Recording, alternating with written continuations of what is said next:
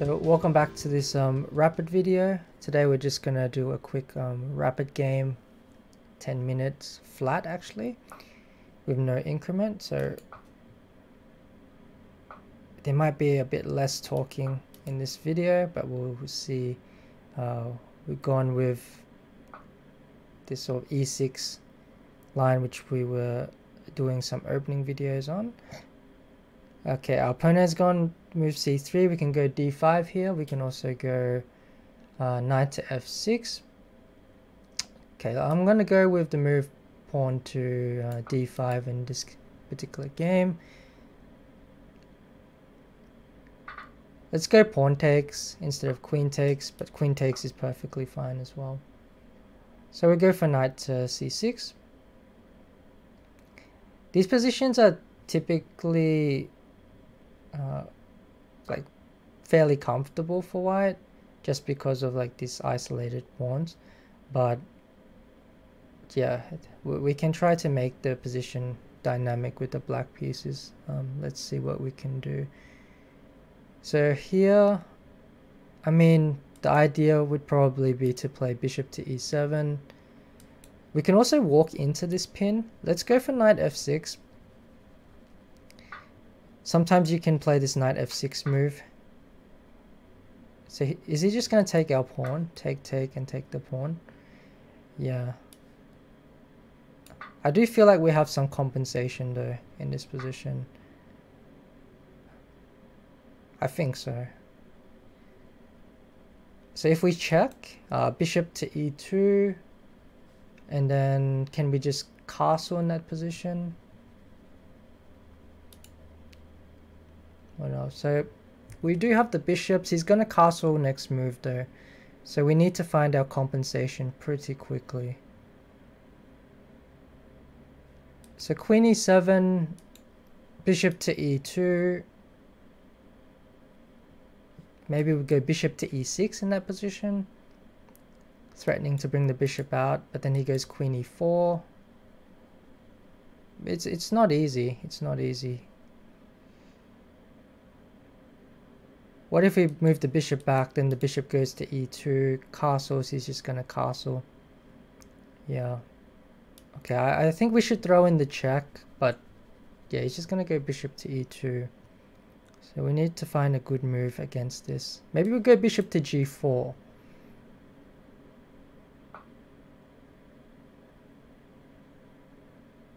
Then he goes queen to um, g5.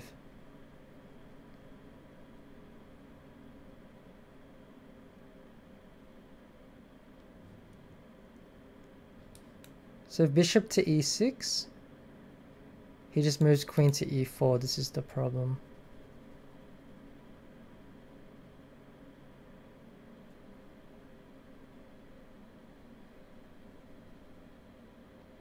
Maybe we just castle and if he takes, we take here and then we take on b2. This is probably the best option, I think. So we still have compensation as long as the king is stuck in the center. So here, yeah, I think we should go for go for this. At least we win our pawn back in this variation as well. So we can take here.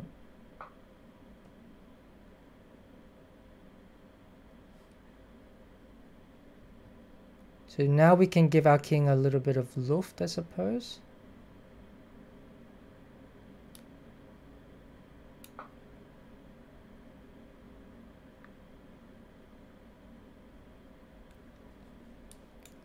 If rook to b1, we just go queen c2. I don't think our queen is trapped at all.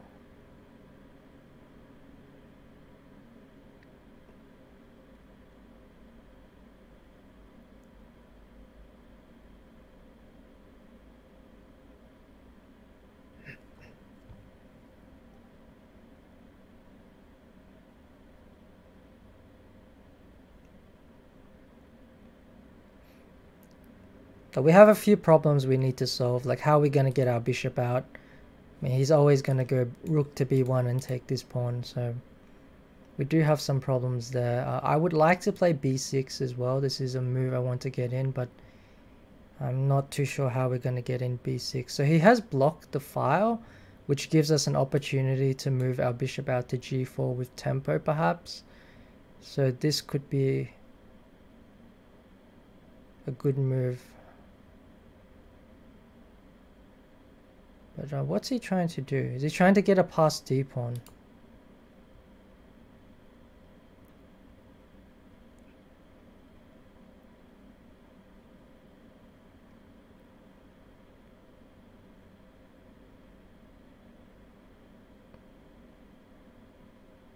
So I can get bishop to d7, b6, or bishop to g4.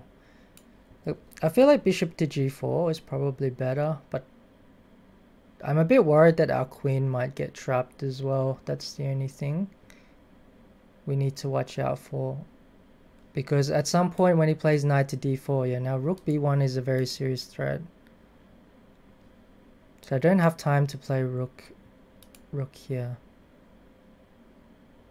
So can I take it? I give him the pass d pawn, but perhaps I can blockade it. The fact that my queen is probably getting trapped means that I might need to do this.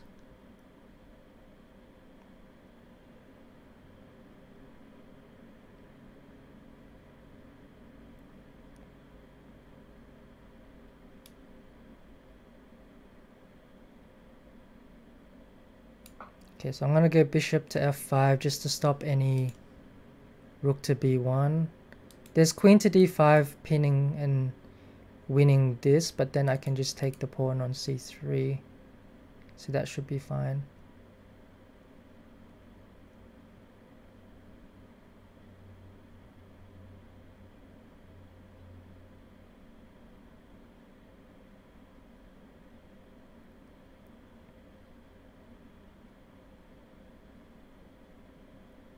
I mean, it, it looks fairly equal to me. If I can get in b6, maybe I can be slightly, slightly better, perhaps.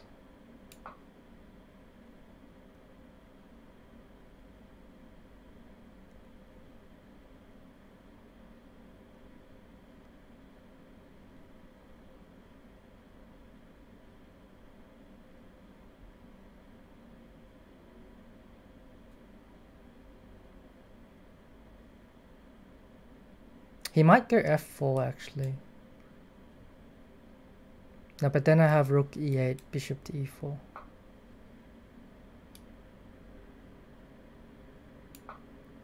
Yes, I, I need to get my bishop to... If I can get my bishop to e4, then I should be fairly happy. Yeah, this one, I, I think I can play rook to e2, right?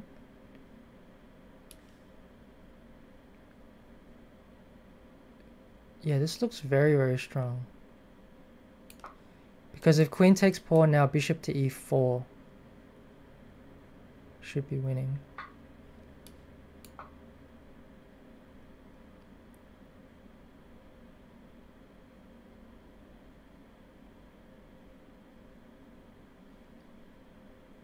So now we can just take on g2 next move.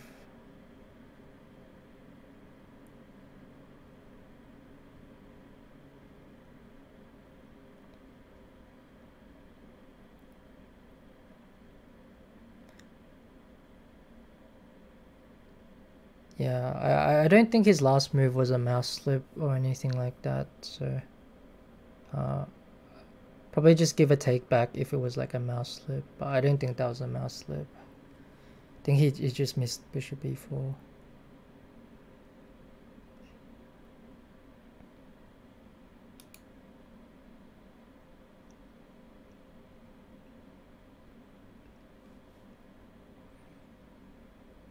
Yeah, so I think we just have forced mate.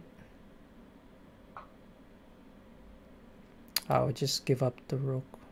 It's probably the easiest one. And then queen g2 mate. Okay, so let's just have a quick look at that opening.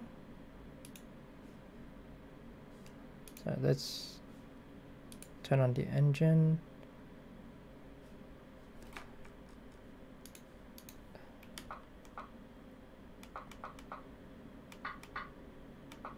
So I've never actually seen this bishop g5 move before. Normally people play bishop to b5 in this position. and the line that I was intending to play was uh, bishop to d6 pawn takes pawn takes castles and then you can play knight g7 knight e7 here but I was going to play knight f6 uh, following uh, I think some idea Magnus Carlsen played once uh, after like bishop g5 I was going to play like bishop to e6 and castle and play with the knight f6 allowing the pin. Sometimes you can even go h6 g5 g4 and it's it's quite aggressive. But 97 is also playable. Um it's the main line I believe um, in this position. But after bishop to g5 um, yeah queen b6 was a move I was also briefly considering but yeah, I wasn't sure what to do after queen b6. I also feel like this bishop on g5 can be quite annoying um, in a lot of positions. So I felt the need to develop my king side first. So yeah, I walked into this pin, but I, I thought it was okay because we were sort of transposing back. Um, so apparently taking is a inaccuracy. So we do get a lot of compensation, in fact, for this sacrifice pawn so I wasn't exactly sure, but I could feel like probably with the two bishops and the extra development that we might have something there. So after queen e7 check here, yeah, so apparently bishop e6 is more accurate. But let's see, after castles, castles is okay as well, it's saying. It's probably just equalized. But what happens after bishop e6, queen e4? So f5, queen h4, it just wants to take take and say that yeah basically black is a little bit better because of uh, the two bishops essentially and the uh, very active piece play. Probably it's just going to castle queen side or something like that and say that yeah black has very active pieces. So yeah you should always be aware that sometimes even though you're a pawn down um, you have enough compensation in other means for example like here extra development of the two bishops will give you enough compensation.